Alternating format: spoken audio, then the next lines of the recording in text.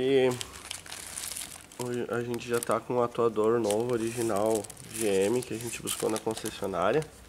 Tá aqui o código. Feito na República Tcheca. Isso. Existem dois códigos para esse componente. Ele fala que de 97 a 99 é um e de, 90, de 2000 a 2005 é outro. Mas pelo jeito a única atualização foi a mangueira, porque o restante é tudo igual e os de reposição é, vendem um código só para todos os anos do B, né, Gia? Então, teoricamente é só a mangueira, então na teoria é melhor pegar o código mais novo, que daí vai ter uma mangueira mais atualizada, vamos dizer assim. Mostra aí pra nós qual a diferença de um pro outro. Ó, o novo quando eu assopro.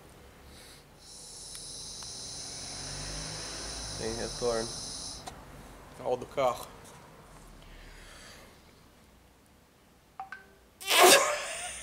É. Não passa nada. Então tá aí o problema. Passamos um trabalhinho pra tirar, é bem nojentinho, tanto lá dentro quanto aqui na frente. Aqui na frente é pior, né? Por causa da posição, lugar, né? o suporte da caixa de relé. Se tivesse o ABS, tinha que tirar o ABS fora, ah. que ele ia ficar aqui também. É bem nojento. Esse suporte aqui tá deslocado pro lado. Tá, agora já vai empurrar ele de volta lá pra dentro e eu vou lá e já espeto ele no lugar e travo. E em seguida a gente mostra aí, sangrando agora direitinho, né? Então tá, enquanto eu tô ali na televisãozinha batendo nas teclinhas, que nem dizia o meu pai, eu já tá ali brincando de mecânico. tá, já botou as rodas no lugar aí, só não torqueamos ainda, não torqueamos ainda, né, já? Não. Então só falta torquear. Aqui tá o fluido que saiu. Então, dois aninhos aí, a cor que já tava, né? Tem que dar um crédito também, porque o carro tava com fluido de 20 anos quando chegou na vez que a gente fez a troca, né? E não adianta, sem desmontar todas as pinças sempre vai ficar um pouco de sujeira dentro. Mas agora tá tudo novinho de novo. Atuador zerado, né? Olha aí, coisa linda do fluido. Uh, o Jean localizou aqui onde estaria o possível vazamentinho no arrefecimento. O carro em dois anos aí perdeu um dedinho de água. Nem um dedinho, né? Nem um dedinho de água. Então ele achou ali um lugar, já vamos revisar. Preencher aqui com o tirreno, né? E já achamos o parceiro aí para fazer a recarga do gás ar-condicionado. Então agora, início da tarde, a gente vai fazer a recarga do gás. Lembrando que é nada indicado isso que a gente está fazendo, é dinheiro fora, né? Porque o, o carro perdeu eficiência no ar, é um indício de que possa ter algum vazamento e tenha perdido gás. Como não sistema fechado ele não pode perder gás, né? Só com o passar do tempo, só se tiver vazamento. Só que como o Fernando está um pouco apertado agora, a gente vai fazer a recarga para pelo menos manter o compressor trabalhando o mais tempo possível com uma quantidade adequada de gás aí, né? E já avisamos o Fernando que ele precisa fazer uma revisão completa nesse ar-condicionado, né? Para identificar onde é que está o vazamento, mas vai ficar para um futuro aí.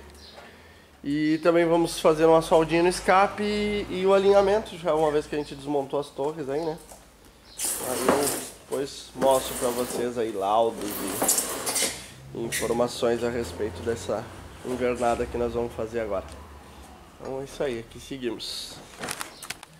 Então tá, agora sim já tá torqueando as rodas aí, já torqueou a dianteira direita, torqueando a traseira direita torquear todas direitinho para ter certeza que se o carro tiver um pneu furado, o cliente vai conseguir tirar a roda, né? Sim, como diz meu grande amigo Ricardo Brankowski, se eu apertar demais eu posso espanar o cubo, se eu apertar de menos pode cair a roda. Sim. Essas com certeza cair não iam. então tá, brincadeiras à parte, pessoal, parcimônia aí na hora de apertar. Torquímetro aí, torquímetro para esse tipo de aplicação não é nem caro, né, gente? Dá pro cara ter no porta-malas, né? Bom, o Fábio fez isso, né? Comprou um torquímetro, tem no porta-malas, quando leva o carro em algum lugar, diz, ó, tá aqui, usa essa ferramenta. Importada da NASA. Sim. E o torque aí pra roda de liga leve, entre... Entre 12 e 13. 12 e 13, roda né? Roda de ferro, 9, 10. Isso aí. Então tá, galera. Mais uma etapa concluída, já ainda vai dar um tratinho aqui no cofre, tirar um pouco dessa poeira aqui que tem. Nem vamos passar silicone nada, porque o cliente tem ido bastante pro para Camacuã e deve pegar bastante pó lá na, na estrada. Então Vamos evitar produto químico aí para não grudar sujeira. E depois vamos sair fazer aquele testezinho, eu levo vocês com a gente. E visitar esses três terceiros que a gente vai ter que visitar aí para finalizar essa manutenção. É isso aí. Então tá, aqui já tá dando uma aguinha no carro só para tirar o pó que ele acumulou. Ficou uma, uma semana e pouquinho aqui com a gente. Duas semanas praticamente. Aqui já tudo limpinho tomados os devidos cuidados né, na hora da higienização para não gerar problema. O arrefecimento já reposto, já testou a densidade do fluido, tá ok, tá com dois anos de vida, então ainda está dando prazo de validade.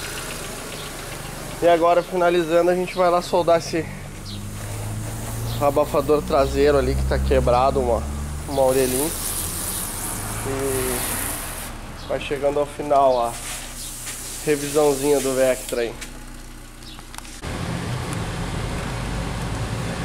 Então, encerrando mais uma manutenção na Precision Works. O que é que tá fazendo? Agora eu tô dirigindo, relaxando e curtindo o ar-condicionado do Fernando, que agora é gel. Dói os ossinhos dos dedos, Sim, né? Cara, deixa na tá uma delícia. Tá, o carro foi feito alinhamento, ah, laudo impresso, tudo certinho. Pra quando a gente for mexer no agregado, vale a gente puxar o agregado inteiro um pouquinho pra frente, né? Já. Caster negativo, né? Isso, mas é pouquinho, tá dentro do limite ainda, só que a gente consegue deixar o carro mais perfeito, né? Mais perto do centro do que no limite. Ah, foi feita a recarga do gás do ar-condicionado, trocadas as duas válvulas, né? De, de abastecimento ali do, do refrigerante. Dois 20 Isso, os dois ventis. Foi adicionado óleo, foi feito praticamente 40 minutos de vácuo no sistema.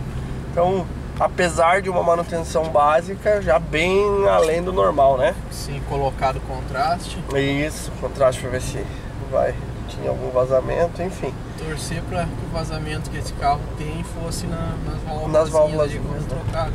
Exatamente. E foi feito também a soldinha no escape, parece que tirou praticamente todo o ruído que tinha de escape aqui só, dentro. Só tem uma, uma ressonância agora que parece ser o intermediário, alguma coisa solta dentro Sim. já. Já dá a impressão de já tá oco, né? Então a gente vai dar mais essa voltinha com o carro, vamos buscar uma pecinha pro cliente mesmo, para um outro carro do cliente, para botar o carro mais um pouquinho na, na estrada e depois dar só uma confirmada no arrefecimento, ver se não vai aparecer aquele vazamentinho de novo. E é isso aí, o óleo residual aí pro cliente completar quando baixar, tá aqui guardadinho, bem tapadinho. Mais uma manutenção que chega ao fim então. Finalizando os testes do carro do Fernando. Abastecendo o carro do Fernando. tá botando combustível aí, que a gente já havia falado que ia ser necessário. E. Ô Fernando, as tuas balinhas acabaram. Todas. Quando tu vier buscar o carro, já traz um pote de bala Valda novo. Isso. Eu Vou deixar o pote aqui pra te não esquecer, né, de repor. É isso aí, galera. Abastecido o carro, vamos continuar o nosso teste, daí já voltamos pra mecânica.